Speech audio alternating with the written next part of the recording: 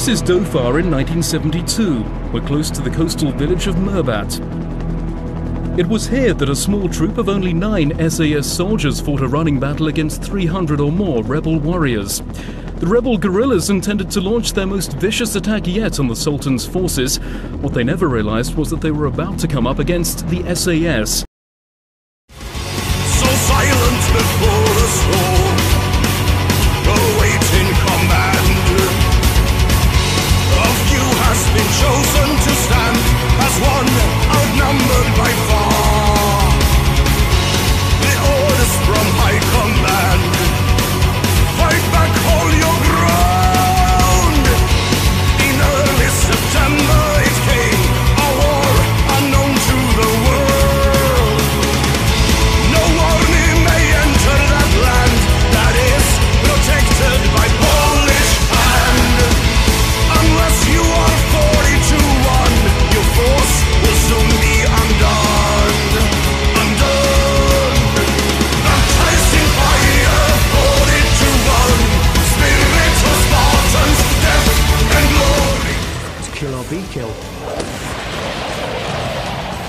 Is when the, the adrenaline clicks in. To our homes. The 8th of September it starts. The rage of the Reich. A barrage.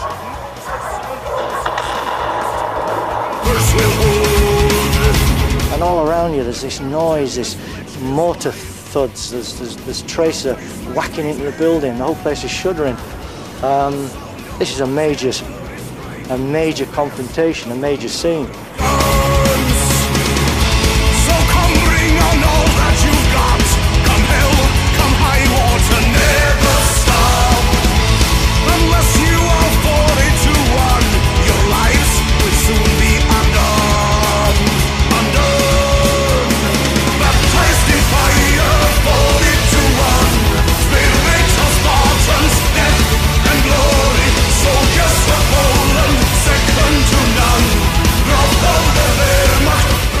Closer to the, the gun pit up on the right flank. That was their objective. We had a 25 pounder uh, manned by two Fijians and, and, and a small fort. If they'd have taken that position, the objective was to turn the gun, the 25 pounder, onto us.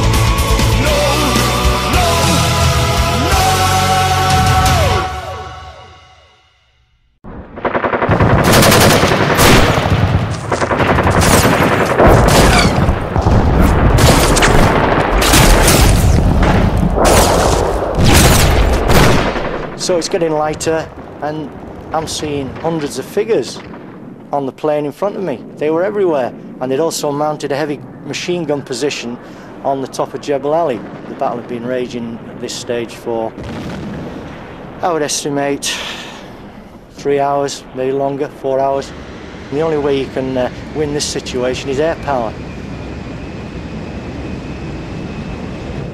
And uh, we finally get the jets in. And then, of course, um, they had the heavy machine guns onto them. And one of them was hit immediately. That limped off into the horizon, which left just one jet.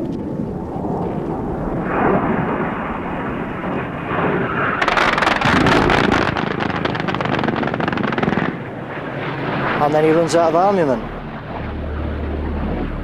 And then we're left um, with the the rifles, the machine guns, and um, sheer willpower and determination to carry on the fight. At this stage of the game, we didn't know that um, Laba had been wounded. Kealy then managed to get him on the Tokai, which is a walkie-talkie that we used to carry, and he said he'd been chinned, that was his last words, around had grazed his chin. Um,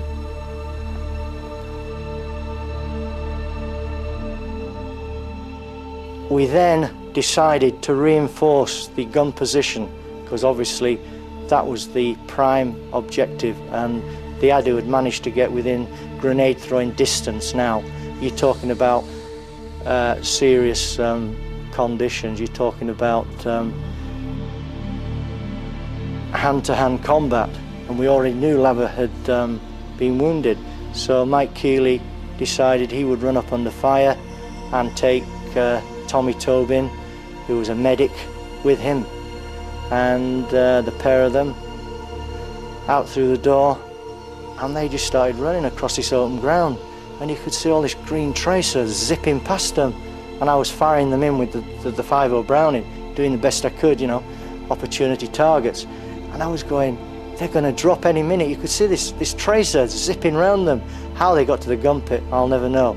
Anyway they made it. And um, Kealy got in closely followed by Tommy Tobin, who unfortunately as he um, jumped into the gun pit was zapped straight um, through the jaw. He was out of the game. Mike Kealy had a, a radio with him and he gave us a quick sitrep and the scene that he found was Labalaba had been killed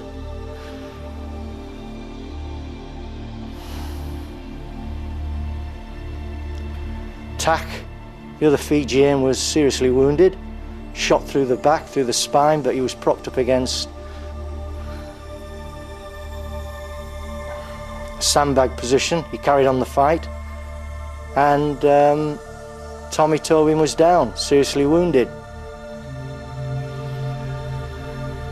Mike Kealy then gave us a, a, a, quick battle appreciation. He identified main threats, which were the um, two assault groups from the, the Adoo had managed to work themselves along the side of the wall of the fort and were only three or four meters away from the gun position. So I managed to get 5 Browning down onto the corners of the fort and then the second wave of jets arrived and um, Bob's controlling them on the, um, the ground to air and they're getting good targets. Mike Kealy was also passing targets on and this time the the jets um, cleared the area of the fort and steadily the fire started to decrease. We then see these figures appearing on the horizon at about 5,000 meters away across the plain on the, the right flank and they're all in extended line. And we thought this is it, this is the second wave, they've got us surrounded. But in fact what it was was um, G Squadron. So with G Squadron supporting us, the jets finishing the business off, the firing is then dying down and they're starting to drift away. They knew it was a lost cause and we started to take account of the situation that we were in as far as um, ammunition state and um, casualties. And that's when the, the, the immensity of the, the situation dawns on you.